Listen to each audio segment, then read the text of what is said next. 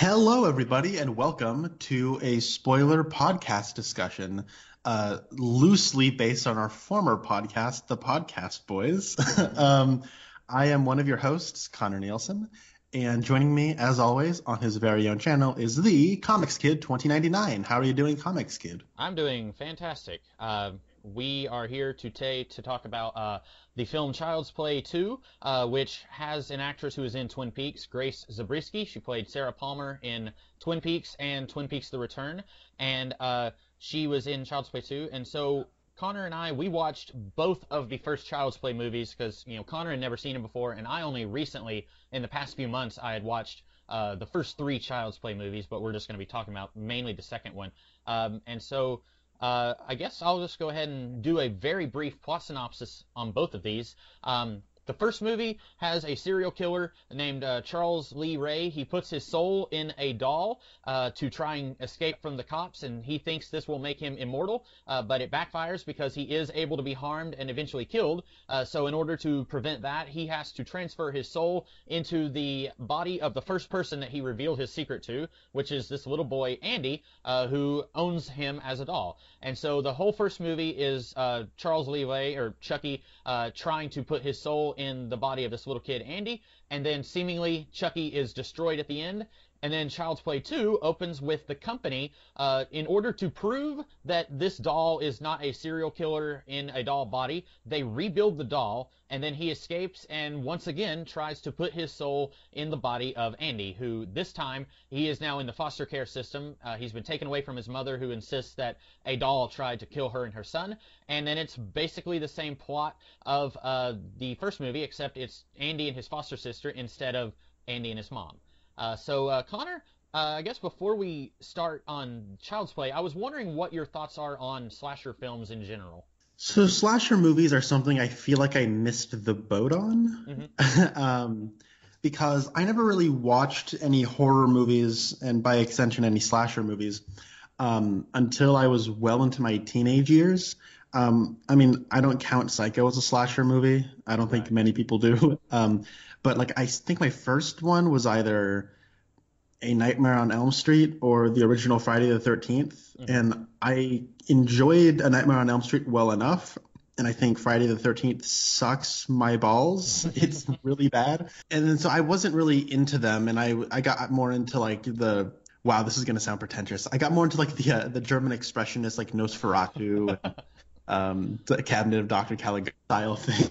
Wow, that sounds even worse when I say it out loud. Um, but uh, I kind of like that more dream-like and like nightmare and I feel like I was born in 1995, so I'm already born after we're what's the term um, deconstructing slasher movies, you know, with like Scream and, and all that. So slashers have never been scary to me, like right. at all, and um, and so when we get to Child's Play and uh, directed by Spider-Man, and it is a movie that's weird.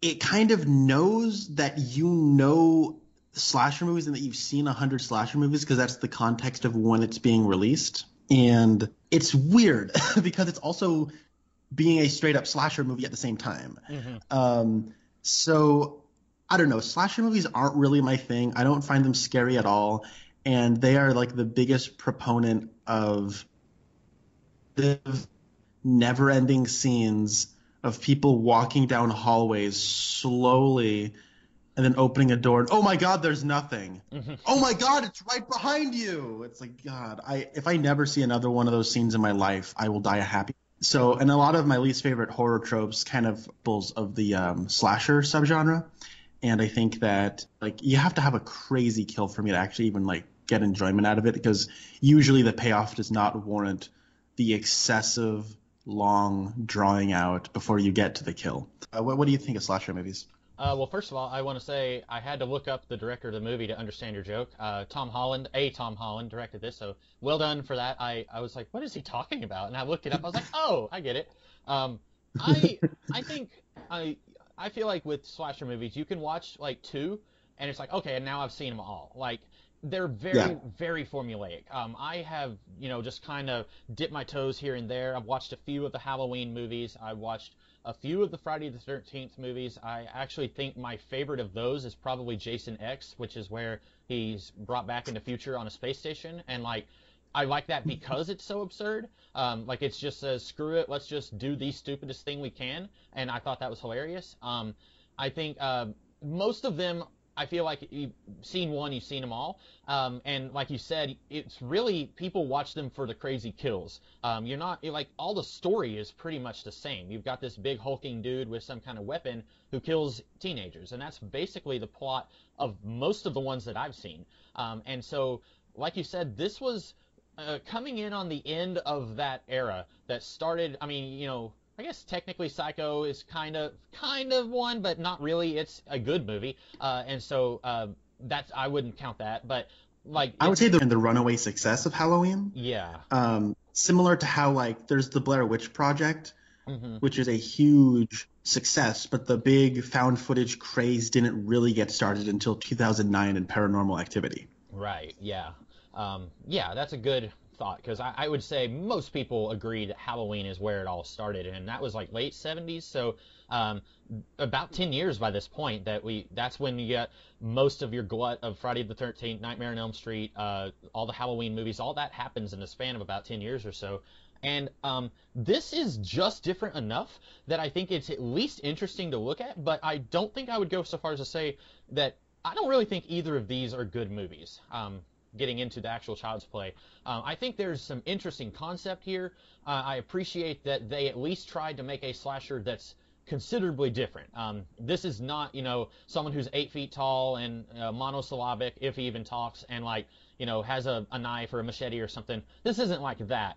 Um, but I, I wish it could have done more with the premise that they were going with. Yeah. Um, so our colleague Rasco, mm-hmm. dear friend of mine, um, he loves the Child's Play movies. He loves Chucky. Um, and I hope he is not listening to this podcast. Uh.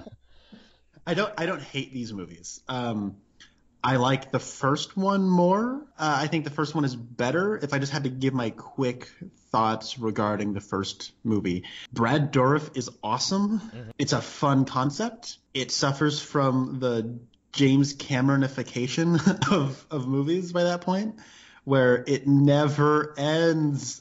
and it's not even 90 minutes long, and it still never ends. Mm-hmm. And then we get Child's Play, which, as you said, is more or less the first movie. Well, it's it's it's the second act drawn out to just like five minutes shorter than the first movie, mm-hmm. and the environments are different. The characters he interacts with are slightly different.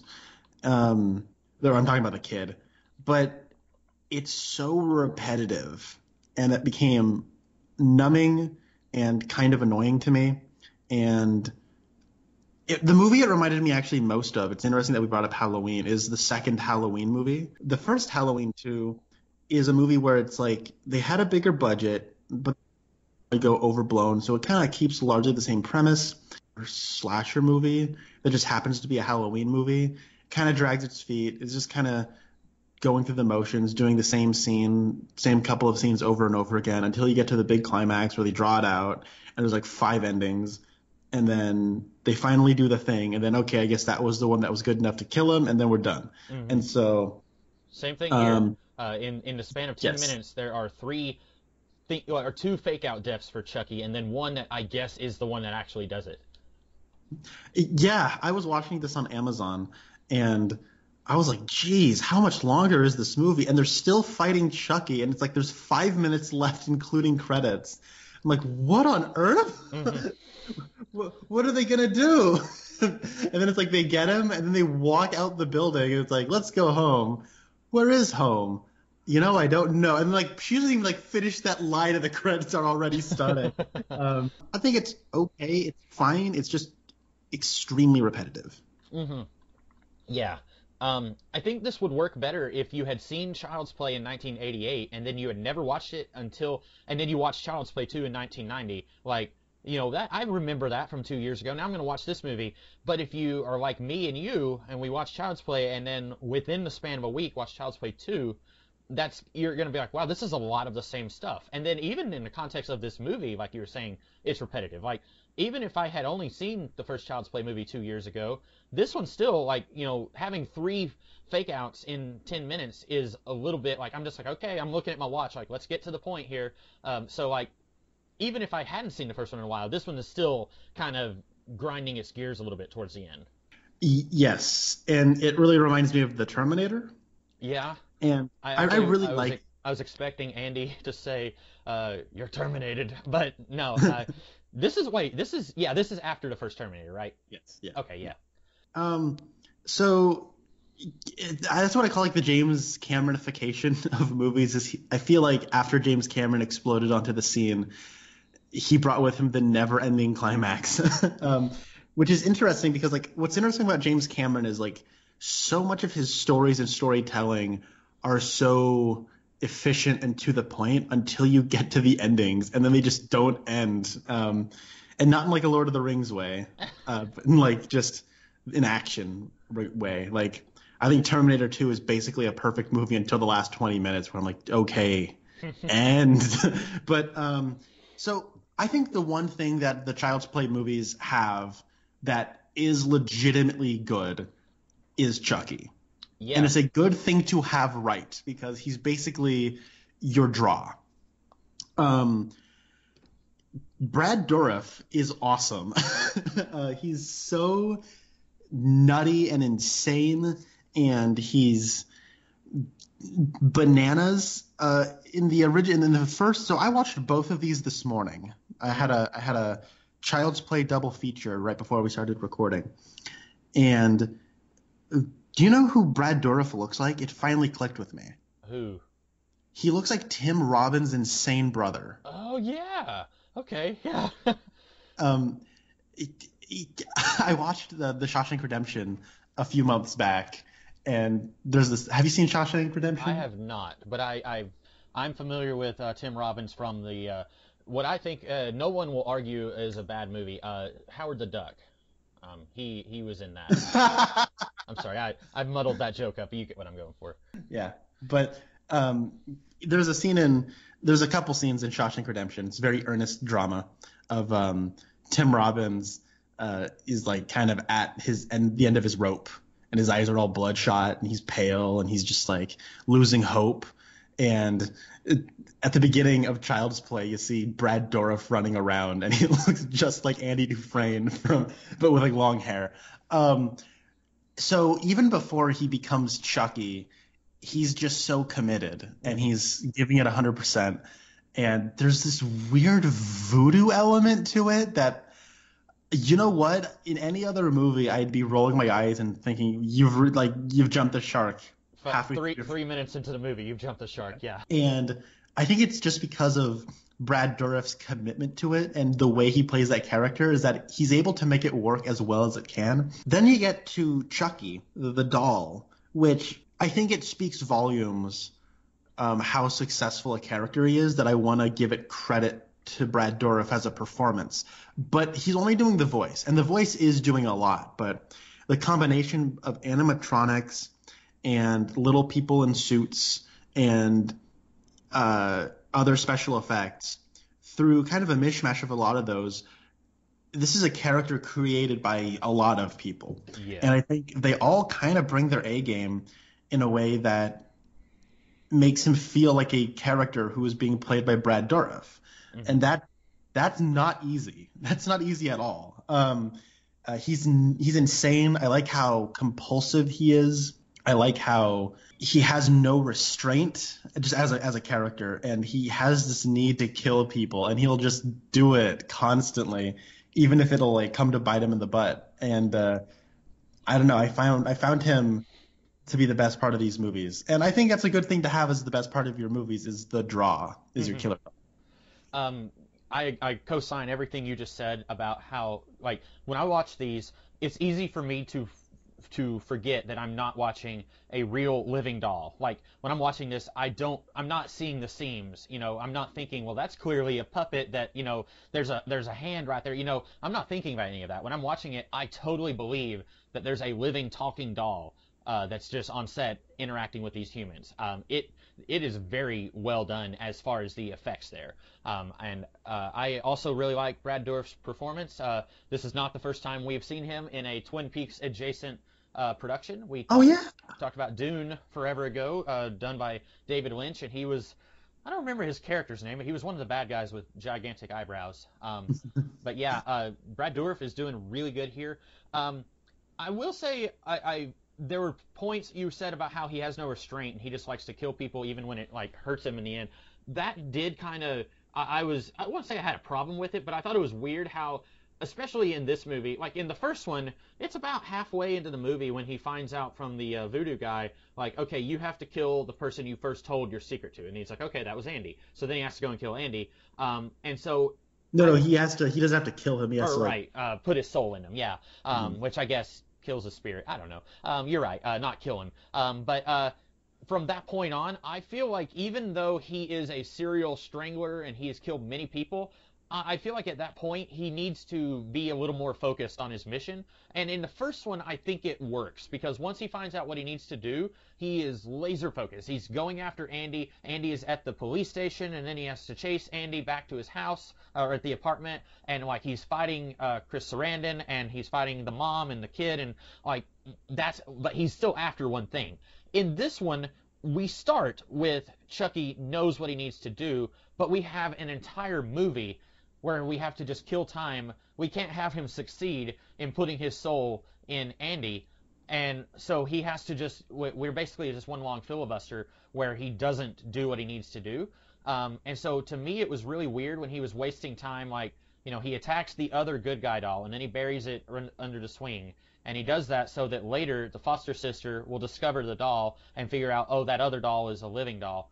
And then, like, he attacks the teacher at the school. Um, who else does he? He attacks the guy who, or it kills the guy who worked at the company. Um, and that some of these it makes sense. Like the guy who worked at the company, you know, he needs him to drive him somewhere so that he can uh, uh, find where, or he uses his car phone to find Andy. Um, but then like the teacher, that one was weird. It felt like that would have worked if, um, if this was a movie where it's like Chucky is Andy's evil side, then that would have been really good. Like you know, the teacher was really mean to Andy and then Andy leaves, and then Chucky kills the teacher, something like that. Okay, um, and that never comes back, anyways. Right. Um, um, and it's actually interesting what you're describing as like Andy's evil side. Uh, they rebooted Child Play last year with Mark Hamill as the voice of uh, Chucky. I did not know he was in the, in that. And uh, I knew they'd rebooted it. I didn't know he was in that though. He, he's the voice of Chucky. Um, and that's basically how they play it. Is that way. Okay. Um, so. And and in the first one, I guess while we're talking about like weird semi-explored premises. In the first one, if you ignore the scene where Brad Dourif puts his soul in the doll, the movie wants you to think that Andy is the one who's who pushed the babysitter out, out the window. Um, like it's it's really playing with this idea of like you know Andy is is like a you know creepy kid who's killing people and then you find out later like when she opens the battery box and there's no batteries in there oh it is the doll and it, it really to me it felt like they wanted you to second guess like is it the kid or is it a doll that's possessed? And then they put but they put the scene at the beginning where Brad Dourif puts his soul in the doll. So you know already okay it's and obviously we know because there's been a thousand Chucky movies and so we know that the doll is evil. But watching it with no context in you know 1988 it seems like, well, is it the kid or is it the doll? And so, like that, I know we're mostly talking about Ch- Child's Play 2 here, but I did think that was a weird uh, if they wanted us to second guess it and think it was a kid, then they shouldn't have put the scene with live action Brad Dourif at the beginning. Yeah, so that's but I know we're talking about Child's Play 2, but that that's a factor in Child's Play 2 is once you've done the plot where nobody believes me, mm-hmm. don't do it again.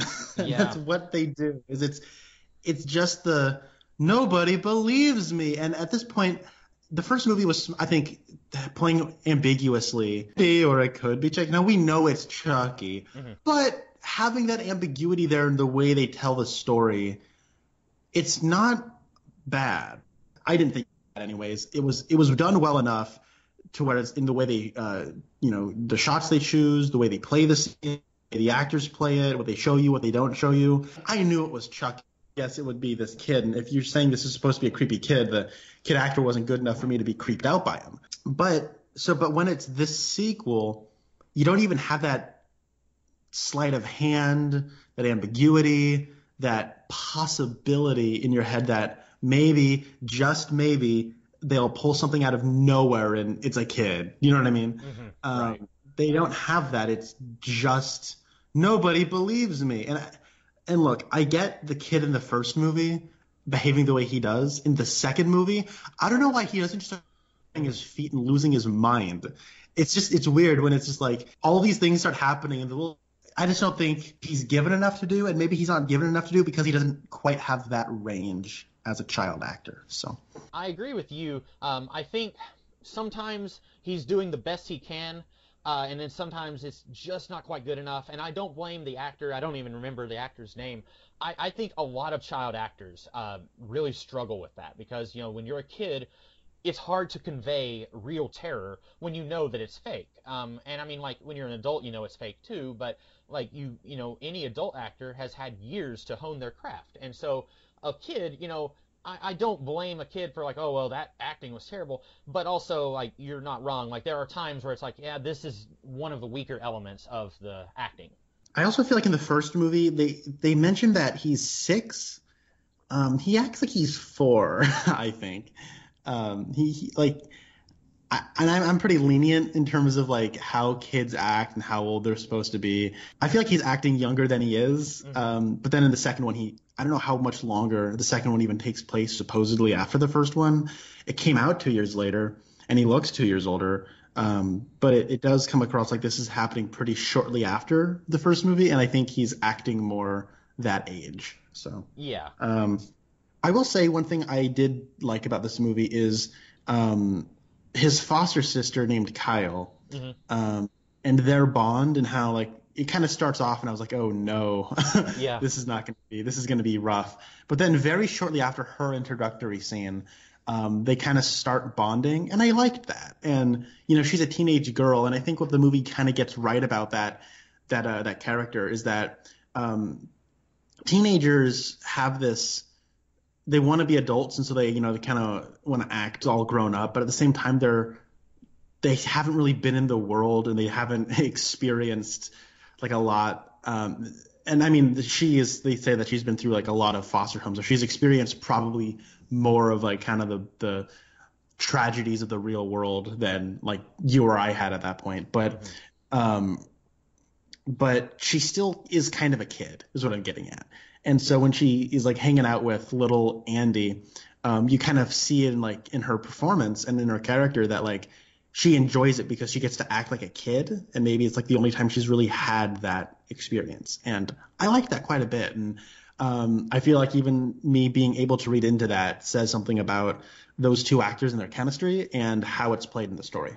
Mm-hmm. I uh, I agree with you. I like their bond once it gets there. I did think it was bizarre how fast it got there because when we first introduced her, she's like, you know, the tough talking, like, you know, hey, can't you knock? I'm smoking in here. And then, like, in the very next scene, they're like, she's like, you know, they're running and playing together, like, you know, hey, do you want me to push you on the swing? No, haha.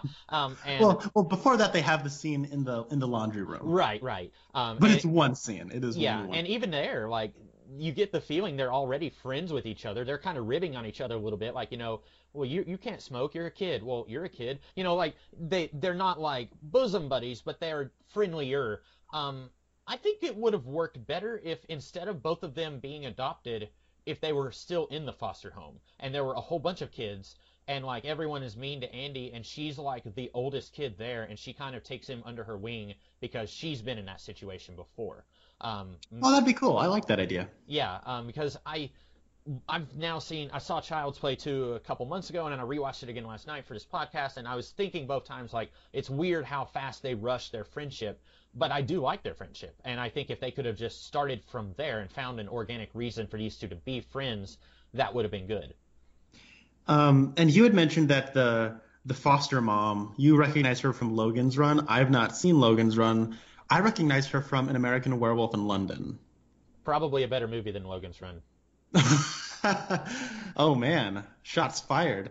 Um, yeah, I, I don't. Uh, it's been years since I've seen Logan's Run. I didn't care for it then, but uh, I've heard good things about American Werewolf in London.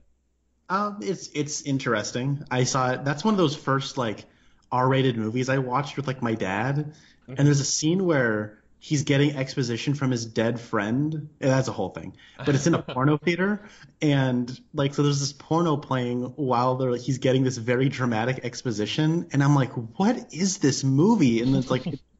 it's deliberately like off-putting in, in, in, but it's supposed to be like off-putting in a funny way and um, i'm like sitting there next to my dad and i'm like are you sure i'm allowed to be watching this because like my dad never let me watch anything like that but that was it was that and first blood and uh, a couple of other things where my dad just like saw some stuff on tv and he's like yeah you want to watch this movie with me i'm like yeah sure so uh, i haven't seen that in like over 10 years now but um I was like, I recognize this lady. Where's she been? I'm like, is she from American Werewolf in London? You know what I can else? see She, her, like, she was in. nurse outfit. Oh, sorry. Go ahead.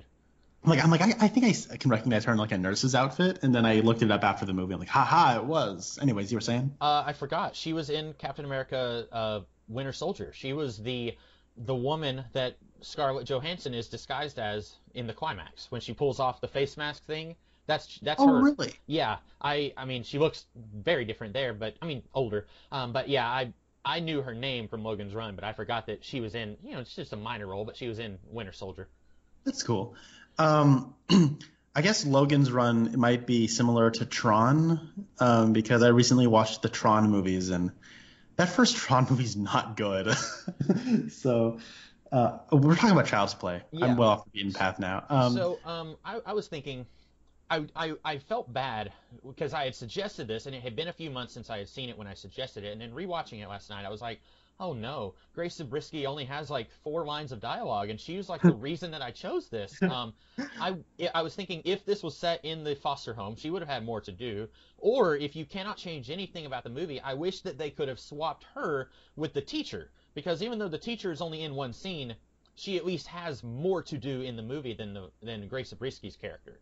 Um, yeah, like we remember, like the teacher, she gets like a whole scene that's like her scene, Mhm. and Grace Zabriskie is in like full on supporting role, and she's also ends up dead, but we don't really remember her. Right. Um, I uh, yeah. So I felt bad when I was like, she's barely in it. I I remembered her being in it a little bit more than that.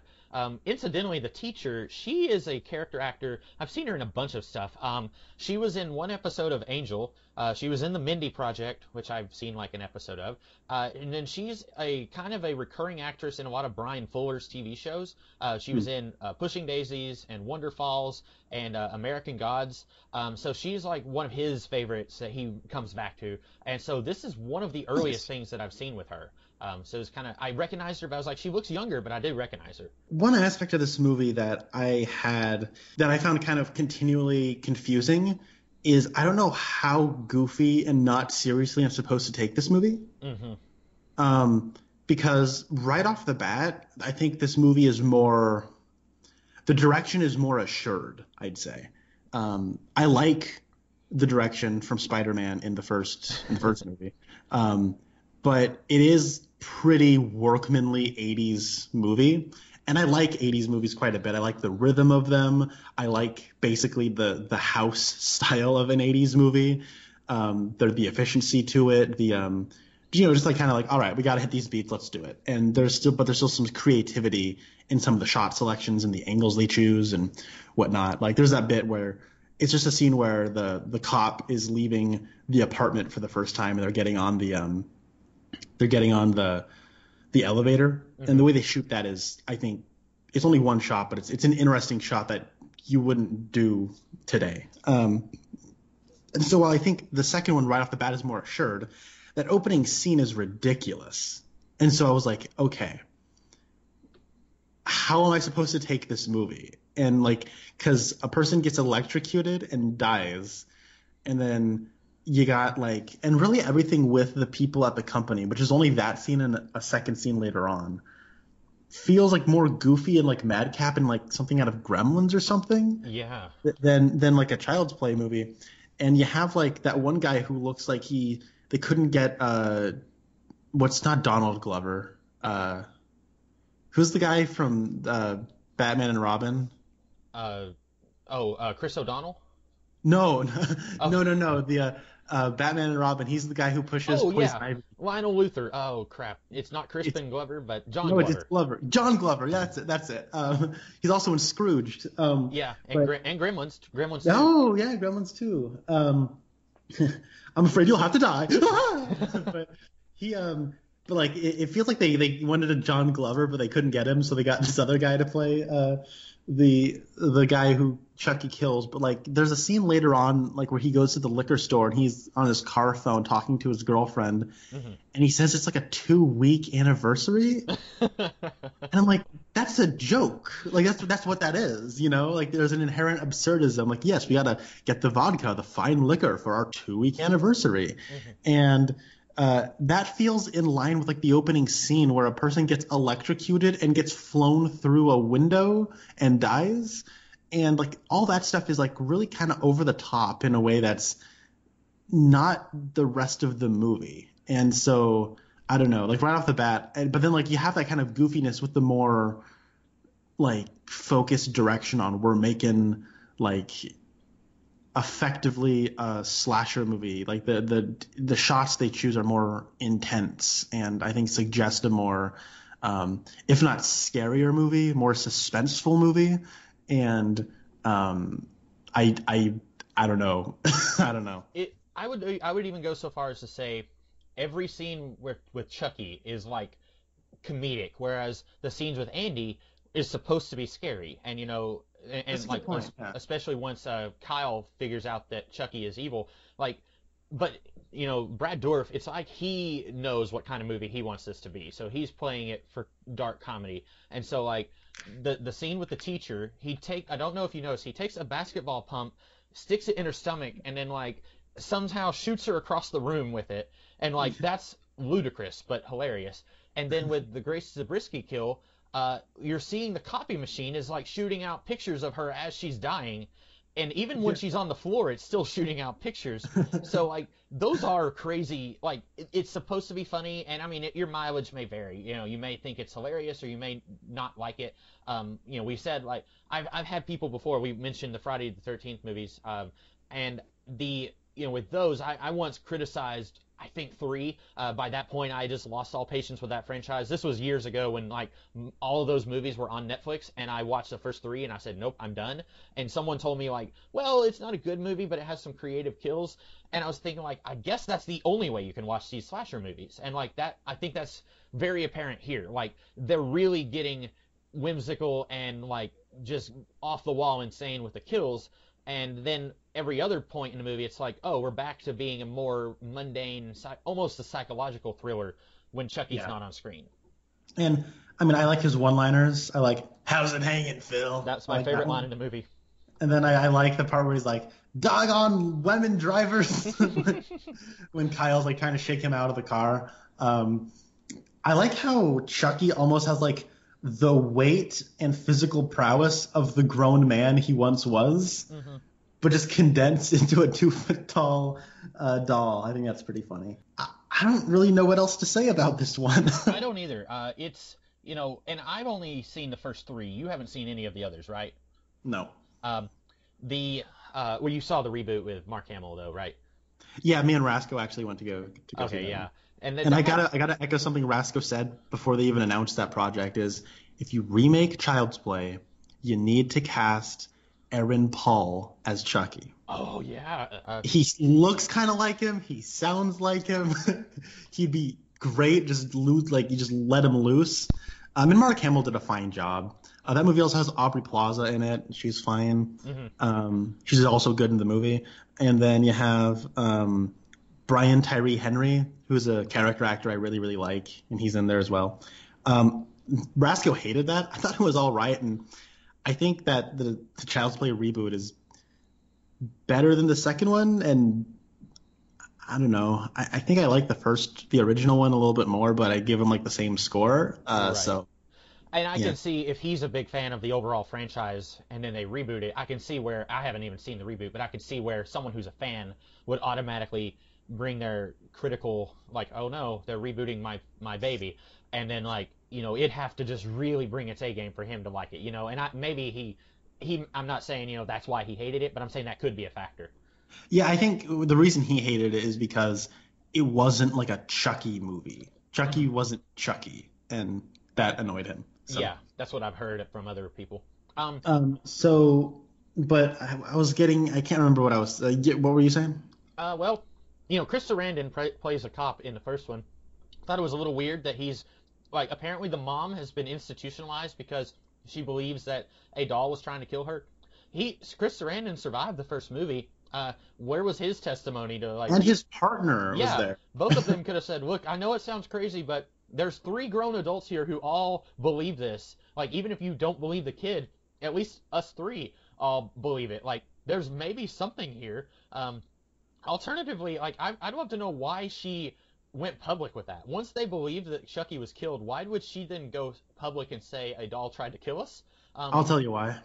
It's because they couldn't get Catherine Hicks back for the sequel. Oh, see, I was wondering. I was like, did she just like not want to do it, or did they like say we're going to go in a different direction and we don't need her character back? Or I wasn't sure. I mean, it's it's very obvious to me Catherine Hicks wouldn't come back, so they're like, um, we're, we're gonna put you in foster care till your mother's all better now. Like, and he, sure, he said he says not? at one point, "Am I ever going to see my mom again?" And Jenny Agutter says, "Of course you will." And I was thinking, "No, you won't. like, we're never going to see her again." Um, no, I. Well, uh, it depends. Is she going to sign the contract or not? um, I also thought again, like you have to just like jump through some hoops to get us to the point where Chucky is able to start killing people again, because that's the only reason we make this is for the weird kills. But I thought it was really weird that the company would rebuild a doll uh, just to yeah, no, that's the... I completely agree. And I know you haven't seen the third one, but in the third one, the the melty stuff that you know they they melted Chucky in this one, like melted him down, and in the third one, all of that gets mixed into a new doll, and that's how they bring him back. And I think that makes a lot more sense. And honestly, I think they could have just started this movie with that premise, where somehow the Chucky that was destroyed gets recycled and somehow his parts get mixed into a new doll and then he's backing at it. Like I okay. think go ahead. There's okay, but so, so that reminds me of like the weird like continuity between movies. You're right. The best way to watch this is you watch Child's Play in 1988, you think that was fun, and then in 1990 rolls around, it's like, oh hey, I remember Child's Play. Let's go see the second one, right? Yeah. Because you have the the the kid saying like Charles Lee Ray needed to do this whole ritual to put his soul into my body. I don't think he said any of that to him in the first movie. No, I'm sure that may, maybe off screen Chris Sarandon told the mom and she told the kid. I don't know why you would tell your four year old kid that a serial killer wanted to use his soul. Yeah, but we got to jump through hoops about that. You know, we have to yeah. like maybe add like like plot threads that happened after the first movie ended. But it's like, yes, Chucky did Chucky did tell uh, Andy. He did tell him that like, look, here's the thing. I'm a like I'm I'm Charles Lee Ray, and if you tell anybody about me that I'm I'm alive, I'm gonna kill you. Right? He did actually say all that, but after that, when he goes to the Voodoo Man, once he finds all that out, I don't think he talks to Andy for the rest of the movie, or he's alone with Andy because Andy wants to get away from him because he's in like the hospital at that point. Anyways, but then it's like you gotta go after the heart, and so they shoot his heart. And then in this one, they rebuild Chucky from the head down. It seems. Yeah, they give him a new. And so then it's like, okay, now I guess it's a brain head thing, and they blow up his head. And now you're saying in the third one they get it mixed in with. I haven't seen the third one, but that just sounds like more uh, it's. Did we say heart? No, no, no. We meant brain, head. Uh, did we say head, brain? Uh, well, no. It's it's his essence. It's like good night. I'm, who cares? And, yeah, and it's it's like here's the thing. Some of the mythos stuff here could have been really interesting, but they felt the need to make a slasher movie again. But you know, you could have done is like start the movie in hell where Charles Lee Ray is talking to the demon overlord who he worships, and then the demon overlord says, "Okay, I'm going to give you another chance." And just because I have a wicked sense of humor, I'm going to put your body, er, put your soul back in another good guy doll. And then that'd like, be hilarious. Yeah, that'd be funny. And like this movie is already going for the weird sense of humor, and like you didn't have to do the same plot. Like I, I'm just, you know, off the top of my head, there's a number of ways. And I mean, I guess having it be in the foster care system that that's kind of different. Um, but I think there's so many different ways they could have gone, and eventually in the sequels they do. Eventually you get other dolls like Chucky has a wife and they have a kid, and then there's like a whole bunch of Chuckies, and so like eventually I guess they got to the point where they realized oh, people don't necessarily want to see the same movie again.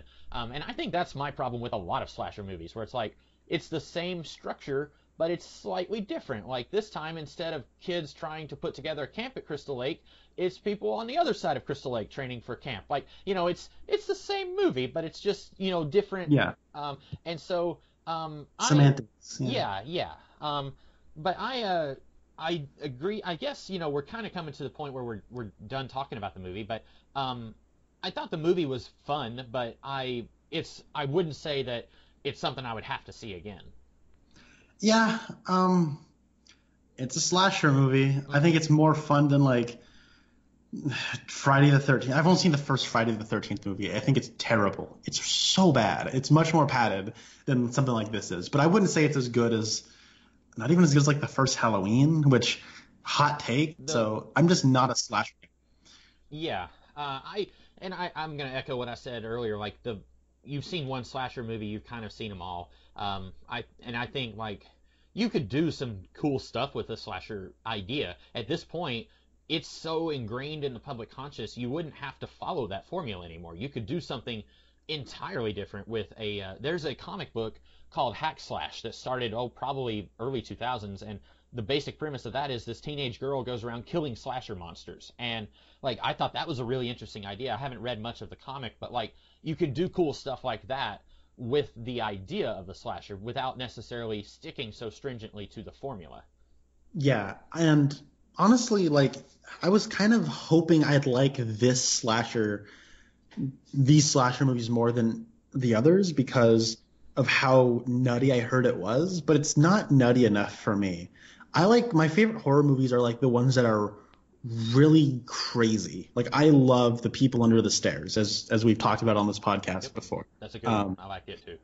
I love the Evil Dead movies. I like just, I like how nuts those movies are. You know, like there's there's this weird like palpable energy to those, and like the scary parts are the funny parts, and they're able to kind of shock you while they're able to make you laugh. Mm-hmm. And it's like both of those movies. I like I like horror movies that understand that humor and fear probably come from the same place, and they try to activate both of those sensors at once. Um, that's um, uh, I. Oh, go ahead. That, that, that's a what? Uh, Jordan Peele, he's a director. Uh, you know, started as a comedy guy. He was on Mad TV. Uh, no, yeah, in Mad TV, I think. And then, um, crap. Now, was he in Mad TV or was it just Keegan Michael Key in Mad TV? I I mean, I know they were together as Key and Peele. But... Right. Um, it, they went on to Key and Peele, and then he did um, us and what was that? Get Out. Get Out. Yeah, two very well received horror movies, and he has said that horror and comedy come from the same place, like like you were oh, saying. Um, wow, I feel I feel awesome because yes. uh, Jordan Peele rocks. Um, I need to rewatch Get Out because that was one of the worst audiences I've ever had at a movie theater. Um, so my enjoyment of that movie was hindered by people talking. Mm-hmm. Uh, but Us, I thought, was awesome, and that, that was in my top ten favorite movies of last year. So. Yeah, um, he. Yeah, but so, no, I agree. I, I, do like his brand of horror as well, um, because he kind of understands that like it's fun getting scared. Like there's there's something fun about that, and that's what I like about us is that like it's suspenseful and you're biting your nails, but it's also just so entertaining as well. So. Yeah, um, and uh, he, um, yeah, I think um, incidentally, you had mentioned the Evil Dead. I recently rewatched the Evil Dead for the first time in like 12 years, and I liked it so much more than I did when I was like 18. Um, and incidentally, last week or, or whenever, not last week, when we were talking about the Rise of Skywalker, and you said, you know, the Goonies is your is a movie you watch because it's set in Portland, and you're from Portland, and I couldn't think of any good Tennessee movies. I'm from Tennessee, and then I looked it up, and like the results were like Walking Tall and uh, the Hannah Montana movie. And I was like, well, my my results are slim and picking, but it turns out The Evil Dead is set in Tennessee, and I don't know how Google didn't pick up on that. Um, but yeah, that's uh, I really like The Evil Dead. That's maybe my favorite horror movie. It's it's so fun, right? Like yeah. it's it's awesome, and that that is a movie that comes alive entirely in the direction mm-hmm. and and just the style of it, and oh, it's so good. Um, we're really off the beaten path now. I had a I had another point about horror movies that I like. Oh yeah, but like I was kind of hoping this would be like that. Um, and it was more Friday the 13th than Evil Dead. Yeah. So. Um, I uh, years ago, um, when I was like just coming out of high school, I had never seen any of these slasher movies, but I had this idea in my mind of like, here's what I would do if you like gave me a billion dollars to make a movie like this. I would.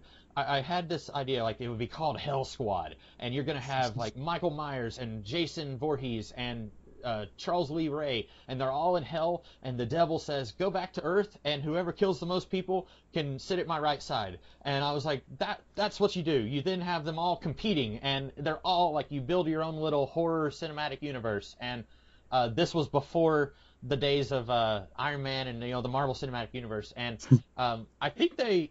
I don't think that would work. I think that would be just it'd be like the Expendables, and if you like the Expendables, then you know that's fine. I don't think that those are good movies, uh, but I think it would be like that, where it's like, let's just you know throw all these horror icons together, and that's going to be enough. But um, you know that that was my uh, like early college idea of like this is what you do. You like I'm a genius, and everyone needs to listen to me.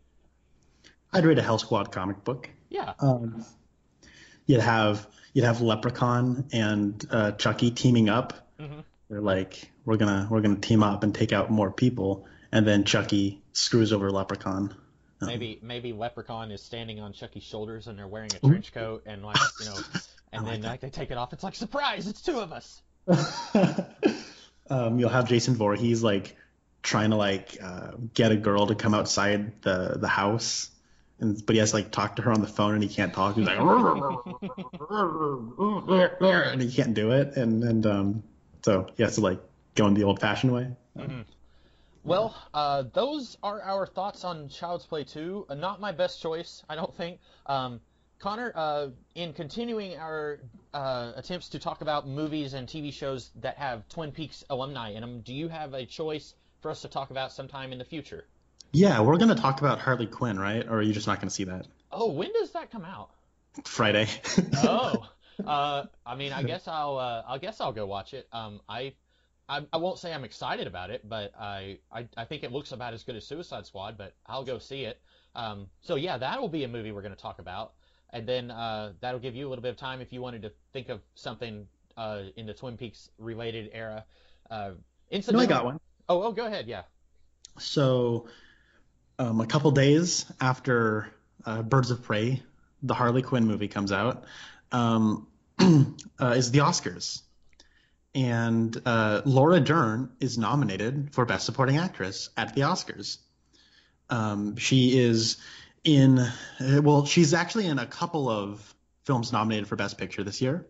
Uh, one is Little Women, directed by Greta Gerwig, and the other is Noah Baumbach's Marriage Story, which is funny because Noah Baumbach and Greta Gerwig are a couple. And um, so she's nominated for Marriage Story, which is on Netflix. And because I am me, I am not going to pick that one. um, if you can, um, you should head out to the theater and watch Little Women Oh, okay. because that was my favorite film of 2019. Okay. I'll, uh, I will try to do that. And Um, if you can't, because it's been out for a little while now, we can just wait till it like comes out on uh, Amazon or DVD or something. So I'll just look and see real before we freaking it's still playing at my theater. Um, I I'd say you, I, the only time I can think of a time where a movie wasn't playing at my theater was uh, Snowpiercer, your favorite. Um, Well, the guy who directed Snowpiercer, Bong Joon Ho, made a film called Parasite that is nominated for Best Picture this year, yeah, and that movie is so awesome. Everybody should watch it. It rocks. yeah, I've heard a lot Um, of people saying that. Oh, go ahead. Oh, a lot of people saying what? That uh, they really like Parasite.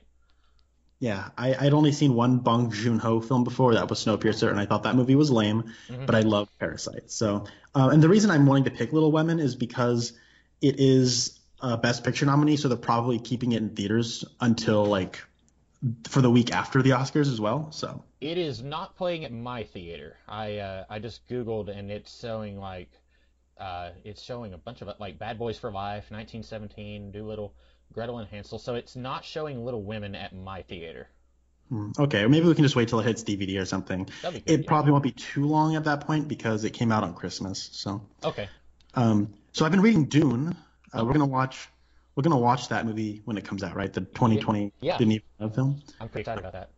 This is all just an elaborate way to get around a pun that's really lame, because they should call that movie Little Fremen. I like that. That's good. and uh, wait, isn't Timothée Chalamet? Isn't he in Little Women? He is, and he's pa- Paul Atreides as well. Yeah. Okay. So that that's perfect. They if they don't market it as that, that uh, they're doing something wrong. I, I would agree. Um, do you Um, do you want us to talk about something other than Little Women uh, in the time in, between now and when it is released, uh, like out of theaters, or do you want us to just talk about Birds of Prey and then by the time we get around to doing this, it, it'll probably be Little Women? Um, let's. Do I want you to hate me? Yeah, I do. Okay. um, we talked about Brad Dourif. Um, he was in Dune. He was also in David Lynch's next film after Dune called Blue Velvet, which also has Laura Dern and Kyle MacLachlan in it. And we have not talked about Blue Velvet. So let's talk about Blue Velvet.